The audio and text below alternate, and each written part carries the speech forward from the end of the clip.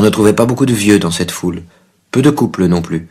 Personne n'avait l'air de trouver bizarre que je reste là, moi, seul, pendant des heures en station sur ce banc à regarder tout le monde passer. Toutefois, à un moment donné, le policeman du milieu de la chaussée, posé comme un encrier, se mit à me suspecter d'avoir des drôles de projets. C'était visible. Où qu'on se trouve, dès qu'on attire sur soi l'attention des autorités, le mieux est de disparaître et en vitesse. Pas d'explication. Au gouffre, que je me dis. À droite de mon banc s'ouvrait précisément un trou, large, à même le trottoir, dans le genre du métro de chez nous.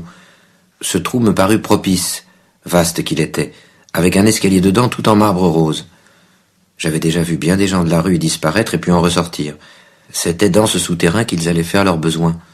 Je fus immédiatement fixé. En marbre aussi la salle où se passait la chose. Une espèce de piscine, mais alors vidée de toute son eau, une piscine infecte, remplie seulement d'un jour filtré, mourant, qui venait finir là sur les hommes déboutonnés au milieu de leurs odeurs, et bien cramoisis à pousser leurs sales affaires devant tout le monde, avec des bruits barbares. Entre hommes, comme ça, sans façon, au rire de tous ceux qui étaient autour, accompagnés des encouragements qu'ils se donnaient comme au football. On enlevait son veston d'abord, en arrivant, comme pour effectuer un exercice de force. On se mettait en tenue, en somme, c'était le rite. Et puis bien débraillé, rotant et pire, gesticulant comme au préau des fous, il s'installait dans la caverne fécale. Les nouveaux arrivants devaient répondre à mille plaisanteries dégueulasses, pendant qu'ils descendaient les gradins de la rue. Mais ils paraissaient tous enchantés quand même.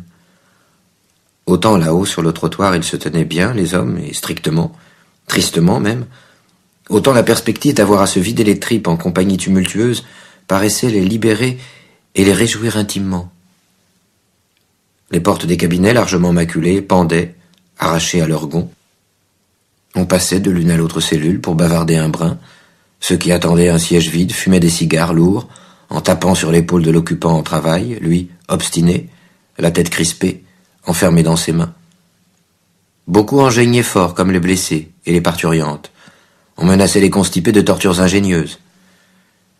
Quand un giclement d'eau annonçait une vacance, des clameurs redoublaient autour de l'alvéole libre, dont on jouait alors souvent la possession à pile ou face.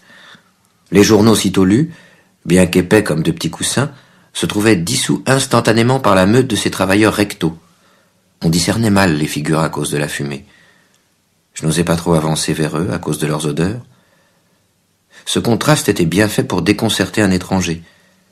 Tout ce débraillage intime, cette formidable familiarité intestinale, et dans la rue, cette parfaite contrainte.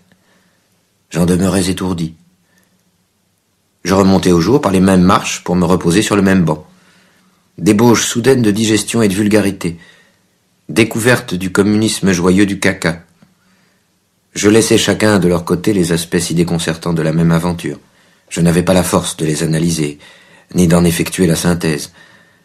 C'est dormir je désirais impérieusement, délicieuse et rare frénésie.